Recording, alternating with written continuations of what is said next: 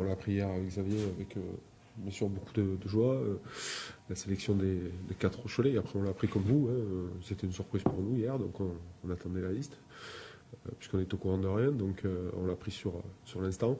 Content, content pour le club, content pour ses joueurs.